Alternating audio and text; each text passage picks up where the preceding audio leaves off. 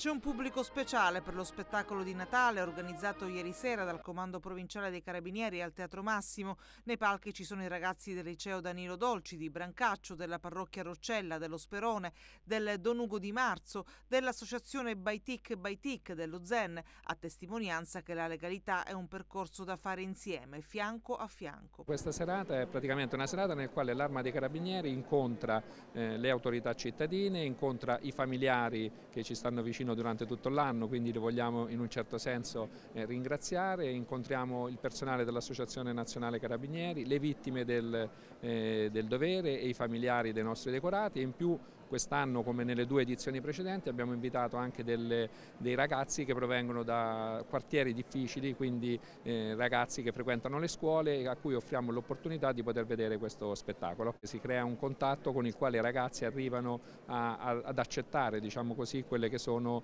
eh, le, le, le, le attività delle forze di polizia e delle forze dell'ordine, quindi è importantissimo creare questo legame con la popolazione, con, in particolare con questi ragazzi. La festa al massimo insieme alle le famiglie dei carabinieri, in platea anche tanti bambini e i parenti delle vittime del dovere. Sul palco la fanfara del dodicesimo reggimento dei carabinieri diretta dal luogotenente Paolo Sena, poi l'esibizione del tenore, il vice brigatiere Roberto Lenoci. Tanti gli ospiti che si sono alternati sul palco, chiamati dai padroni di casa, Eliana Chiavetta e Sasà Salvaggio, dall'artista Fabio Ingrassia, che ha disegnato in tempo reale un ritratto del generale della Chiesa, all'attore Maurizio Bologna, ai comici Matranga e Minafò, poi la sorpresa, l'arrivo di Massimo Lopez in scena in questi giorni al Teatro al Massimo con un omaggio alla musica eterna di Frank Sinatra. I want to wake up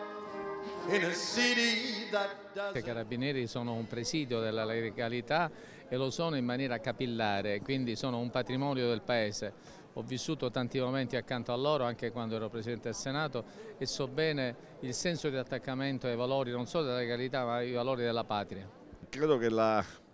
cooperazione istituzionale sia una caratteristica che attraversa questa città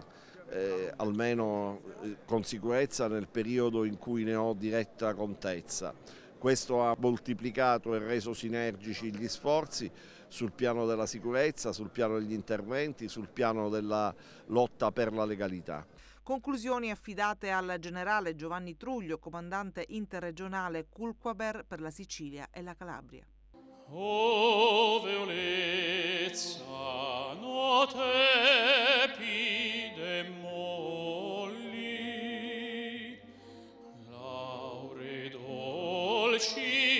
laure dolci del suo